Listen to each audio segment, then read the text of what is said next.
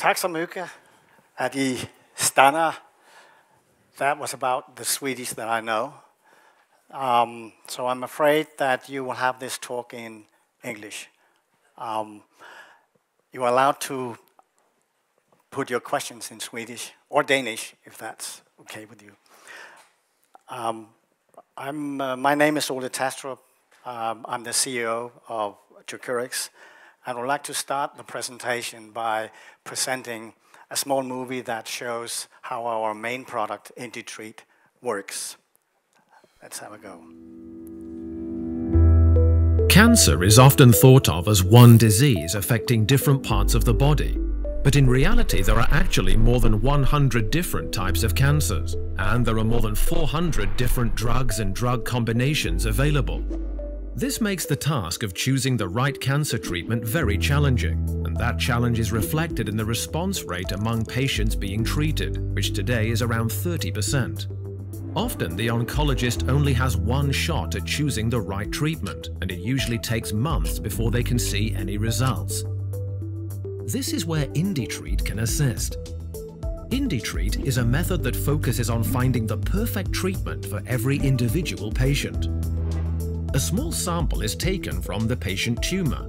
IndiTreat then expands this sample to hundreds of microtumors and tests all available treatments individually. In a matter of days, IndiTreat identifies the effective treatments from the ineffective ones this is done by measuring the growth of the individual microtumors. An effective treatment will kill the tumor cells, which causes the microtumor to shrink. IndiTreat then presents detailed data on every treatment tested. This helps the oncologist to choose an effective treatment for every individual patient. IndiTreat will increase the number of cancer patients responding to treatment. 2cureX, because cancer patients are individuals. Just to sum up, the name IndiTreat comes from individual treatment design. And what it's all about is that IndiTreat can identify the efficacious treatment for the individual patient. At the same time, it will also tell you to which treatment this patient is resistant. There are a lot of good drugs out there. The only problem is that we, it's hard for us to match them with the right patient. I will show you that a lot of the drugs we have are efficient if we find the right patient and we do the right combination. So what we do is that we optimize the value of the drugs that are already approved. We believe that IndiTreat will become, for cancer treatment, what bacterial sensitivity testing. You're probably all aware of if you have an infection, then you just test whether an antibiotic will kill the bug or it won't. That is exactly what we do in IndiTreat. We are located at major hospitals. It's been very important for us to be exactly where the customers, the patients, the surgeons, the oncologists are. So 2cureX is located at two major hospitals in Copenhagen and the biggest hospital in Hamburg, Germany. And we're now expanding into the UK and Sweden. So we know exactly how this should be incorporated. With regard to the company itself, uh, we believe that there's a huge growth potential. The tests have already been developed and tested in more than 900 patients with promising result. We will now go into the final validation study. I will show you how that will be constructed. And that was actually launched here in October. We have already received the first patients. We expect the test to be marketed in 2020. And uh, as an additional uh, benefit, we were uh, provided a grant of 29 million from the EU. And um, actually, this was the only Danish company. Now I hear there was also a Swedish, which I'm happy. Um, it was only 2cureX that received this funding, small company in Denmark this year. As I already mentioned to you, we are present at major oncology centers already. And not the least, one of our partners is Europa Colon Europa Colon is the biggest patient organization looking at colorectal cancer in Europe. They are one of our partners. At the end of this talk, I will show you that there are also a number of very interesting perspectives that goes beyond colorectal cancer.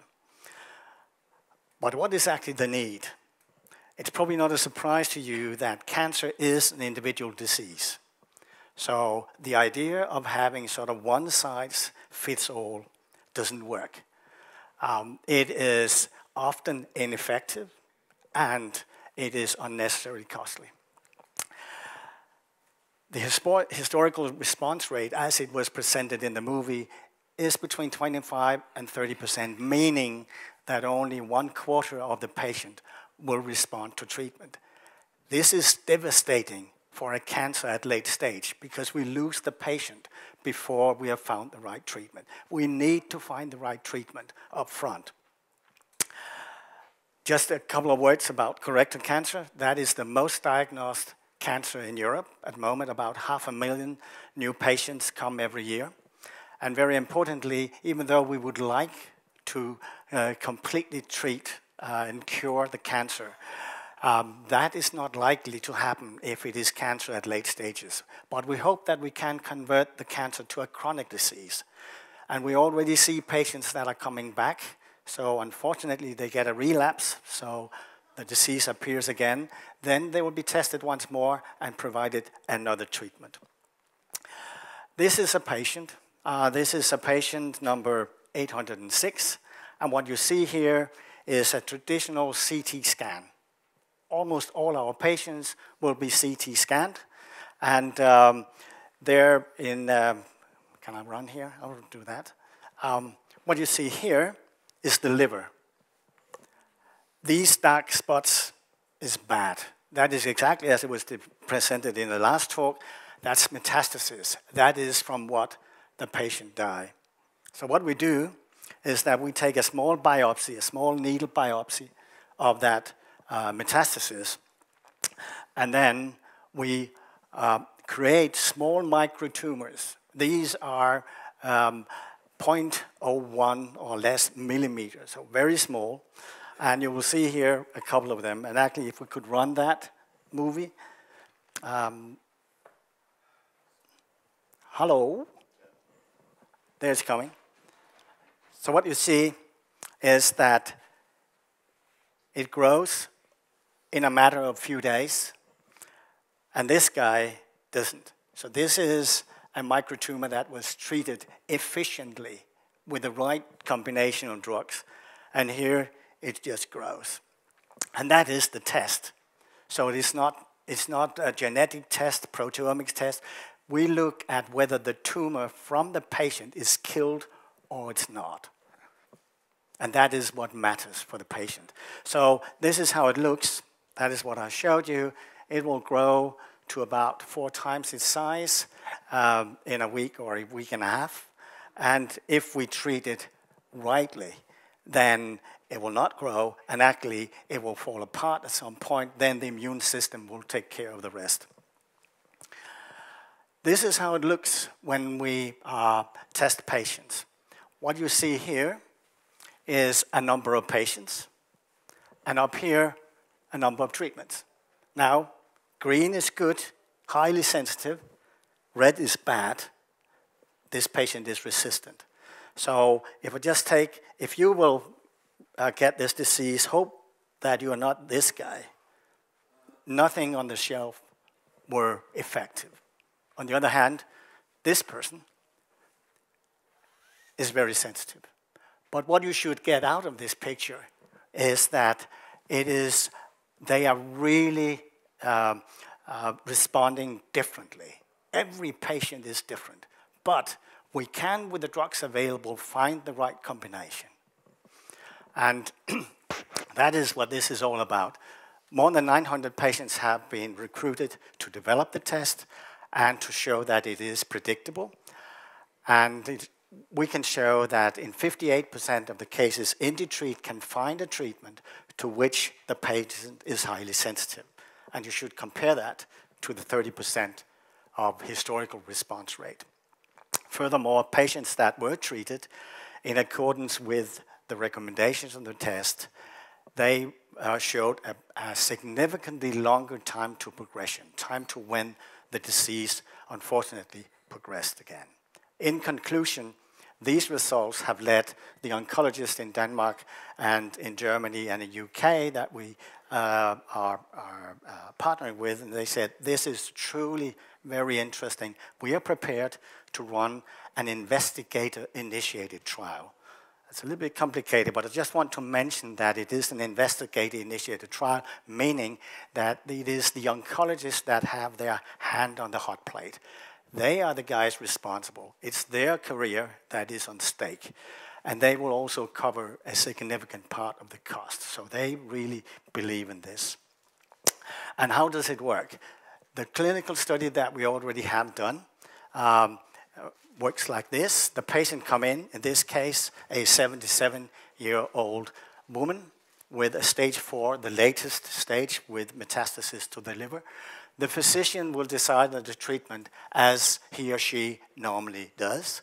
We will then, in parallel, run the IndiTreat. And in this case, he decided to use 5-FU. It's an old drug that has been used for 40 years. That was a bad choice. Now, he doesn't know this. He will treat regardless of this test. And you see, that was not what we suggested. We lost the patient um, after four months. Another example, here is a male, same situation as stage four colorectal cancer with metastasis to the liver. Here they decided on a combination of three drugs, FOLFOX it's called. Um, interestingly, shortly thereafter, they switched. It's very difficult to uh, understand exactly why they did that, but they switched to another combination called FOLFIRI. That was a good idea because here what we say is FOLFOX, that's there, the patient was resistant. However, to what's FOLFIRI, FOLFIRI, it is, it is not, it's not highly sensitive, but the patient is sensitive.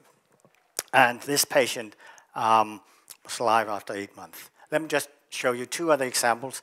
I'll take this because this is um, in an earlier stage. This is stage three, so that is now the tumor is only in the colon. It has not spread to the liver yet. And here, FOLFOX was uh, suggested. Um, bad idea. And uh, we lost the patient after four months. So if you should be inflicted by this disease, you should be like this guy. This is a 46-year-old male, stage four and uh, running the IndiTreat, this person is almost sensitive to everything we have on the shelf. There's a couple of ones out there that uh, is not that efficient, um, and, uh, and the person was alive after 12 months. So that's the kind of study that these oncologists have looked at and said, this is truly very, very good. So this is how it's designed. Now, the new study that started here in October um, there, the patient will go straight into our test system, and then we will pick the right treatment and treat the patient accordingly. Who are going to do this? Um, we have four major hospitals that will run the trial. Uh, we have in Copenhagen, we actually have Bispebjerg Hospital and Rigshospitalet, they are combined. So that's the two major hospitals in the Copenhagen area. Um, we have at the University Clinic Eppendorf, Hamburg. Uh, it's a huge hospital. It's, it's about three times the size of Rigshospitalet, being the biggest one in Denmark. And then Vejle, it, is a, uh, a oncology uh, hospital in, uh, in Denmark. And then we have here Queen Elizabeth Hospital in, um, in Birmingham. And then I mentioned, uh, again, Europa Colon. We have um, a clinical advisory board where the chairman, some of you may know, Nils Brünner, and then we have Andreas Block from Germany, Henrik Harling from Denmark, and Dion Morton from the UK. This is the management uh, team of 2cureX.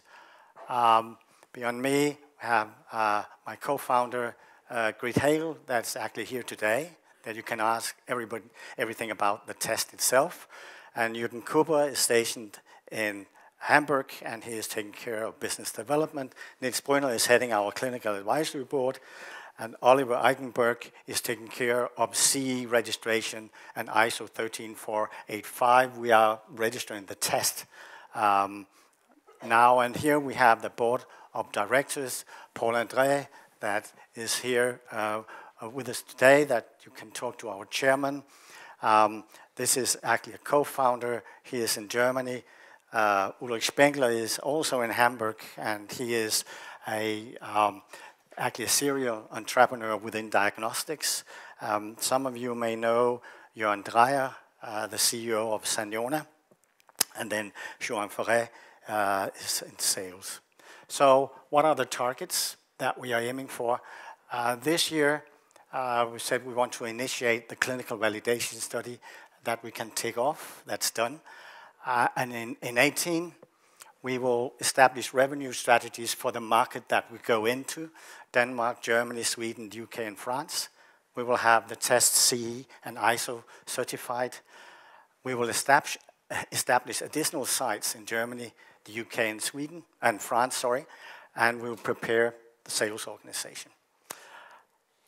The recruitment of patients uh, will take a year, so we expect that to be finalized um, end of 18. And then the study will be concluded in 19 and market launch in 20. This is the, the way in which we will sort of sweep over Europe. We have decided to um, home in on Europe at this point in time. We can't go into other markets because our IP, it's a little bit complicated slide maybe, but we have strong IP protection of issued patents. Uh, you can see these are all issued, and they are issued in Europe, uh, in the US, uh, Canada, Australia, and India. Um, there are technical competitors. I mean, you should always be, you should be concerned if there are no competitors. Um, so we like competitors, uh, we just need to be better than them. And we believe we are. And our unique selling points, that is that we can actually, on very small amounts of tissue, we can run up to um, um, hundreds of, of microtumors and it is broadly protected. With the clinical validation, we'll be the first of these functional, where you look at the growth of the tumor, uh, the first functional test that have been clinically validated. And let me just show you this. I mean, um, we also been asked here, how does your test differ from some of the other tests? Everybody wants to say they can treat uh, the individual patient. I think it's very important. There are no one technology. When you get into the hospital, the doctor will use all the tools at hand.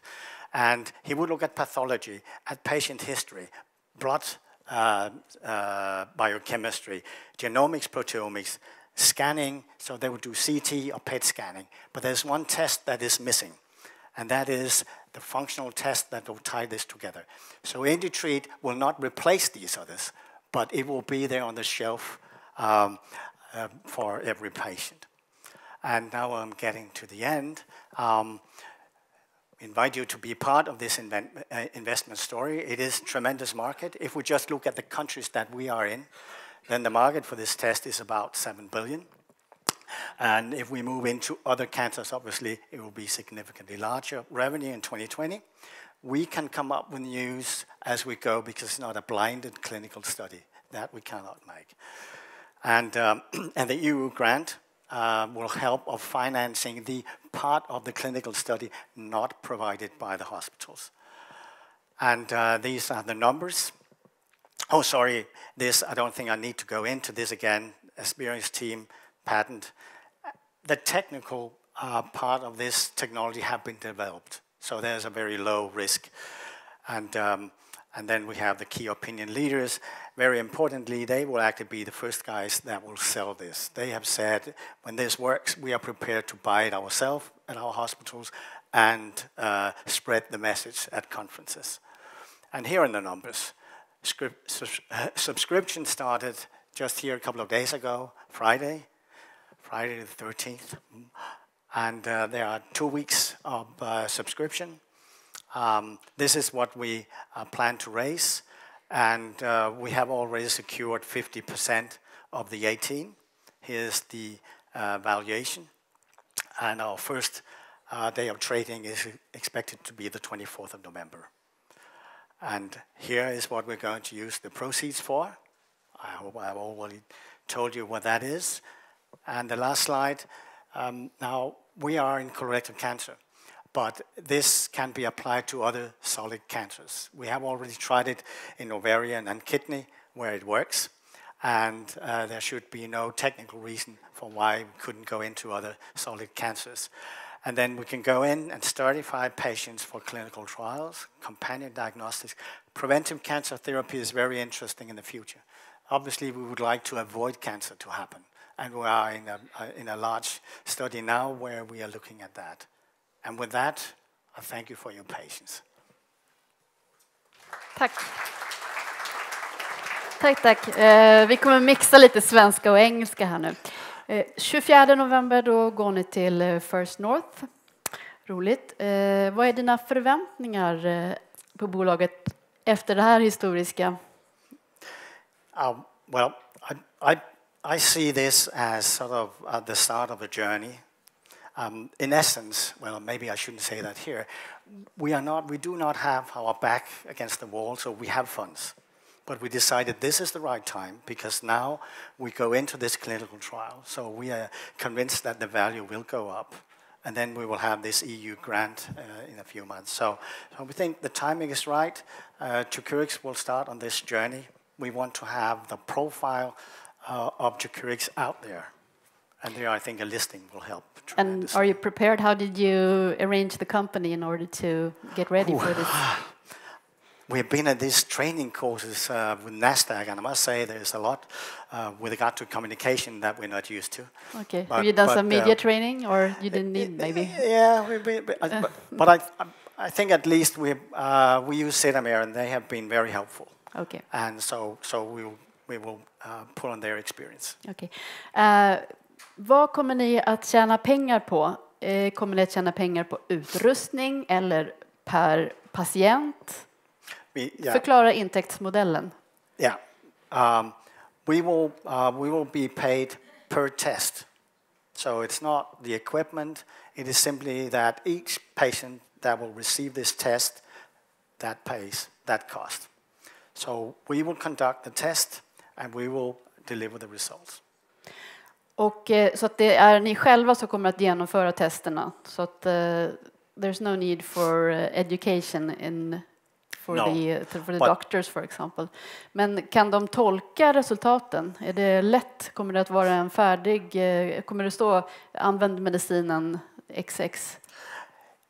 Um, well, when you saw the colors, uh, there is sort of, there could, if there's a, uh, a, a shining green, you should go for that. But some of the patients, that could be some treatments that are closed. And then uh, it will be in a dialogue with the uh, physician. But in essence, it's a very simple readout. And you just take the green colors. It should be said there are some patients, and you saw a few of them, that will not respond to anything. But what we are, what we're sure they will have is side effects. I mean, as you all know, this kind of treatment have a lot of side effects. So it is horrible to put a patient on a treatment knowing that the only they will get is side effects. And that you will avoid. So we can, yeah, so we can present to them that unfortunately we do not have anything on the shelf for you. That's not the message that most people want, but unfortunately that is the situation for a number of patients. Okay, and back to the, the stock market. When you go to the, the First North, how much uh, of the stock of the value will be free float? Um, we will float uh, about 20, 23% of the company. And it's, uh, I mean, of the 18.3, we are floating around 9. Okay. Någon som har en fråga kring det? Ja.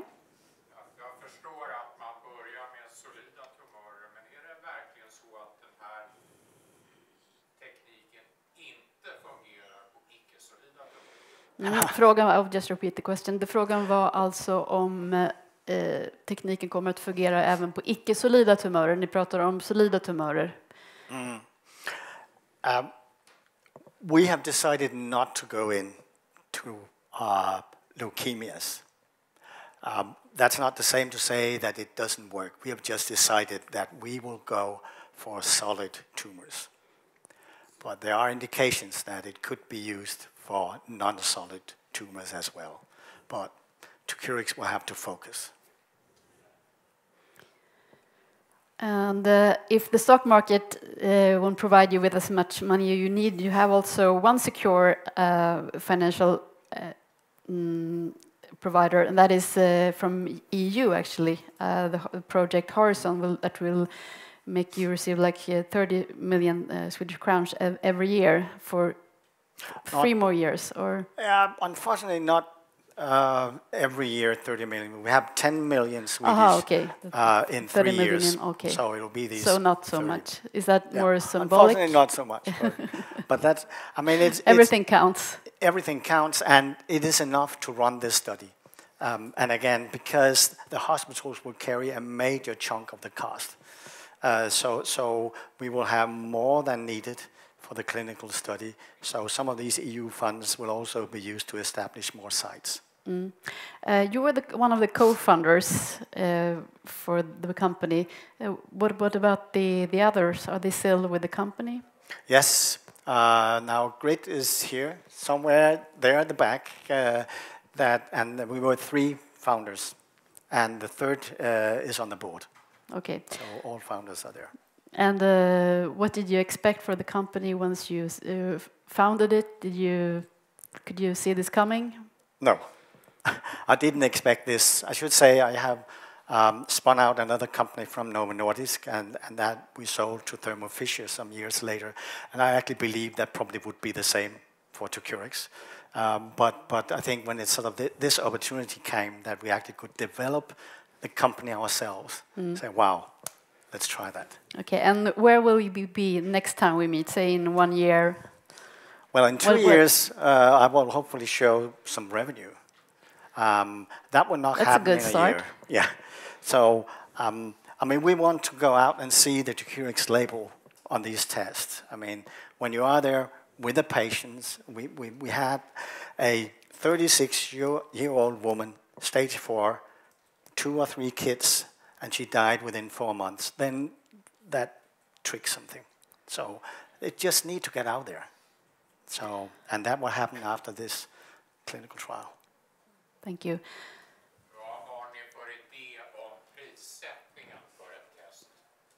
Mm, uh, that's a follow-up on my one of my first questions. The test that you will sell, how much can you? What's the price tag? There, what what what we sort of have said, we actually have had some discussions um, in the board, and we haven't finalized that yet. But it will be um, probably below 2,000 euros, so below 20,000 Swedish. Okay, we have one last question there, please.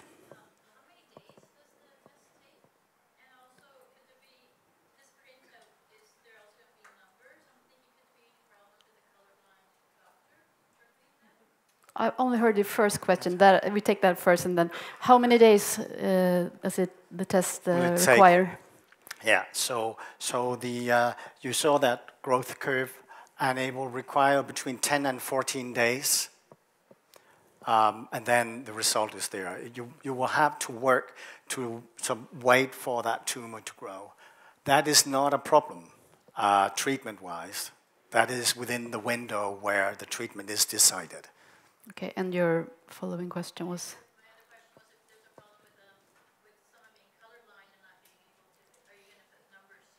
Okay, but it's their own employees that will uh, analyze. The question was if you have problems with colorblind people, right?